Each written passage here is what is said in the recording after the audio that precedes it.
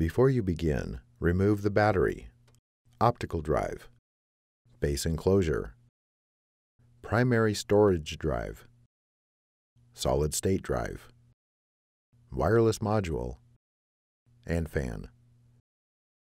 Removal. Important. Make careful note of the routing of all cables for later replacement.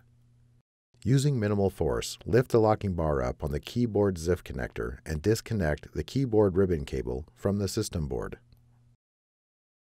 Using minimal force, lift the locking bar up on the optical drive connector ZIF connector and disconnect the optical drive connector ribbon cable from the system board.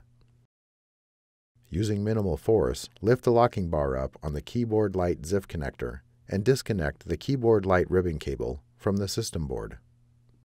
Using minimal force, lift the locking bar up on the touchpad button board ZIF connector and disconnect the touchpad button board ribbon cable from the system board.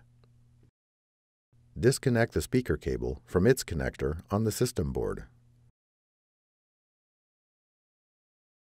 Using minimal force, lift the locking bar up on the power button board ZIF connector and disconnect the power button board ribbon cable from the system board. Peel back the retention tape and using minimal force, lift the locking bar up on the display panel cable ZIF connector and disconnect the display panel cable from the system board. Disconnect the power connector cable from its connector on the system board. Remove the 7 4mm P1 Phillips head and one 2 mm P1 Phillips broadhead screws that secure the system board to the top cover. Grasping the system board near the center, carefully lift the system board off of the alignment pins on the top cover and remove. Note, before installing a system board, remove the following from the old system board and install on the new system board. Memory boards, heatsink, real-time clock battery, Reverse this procedure to install the system board. Important.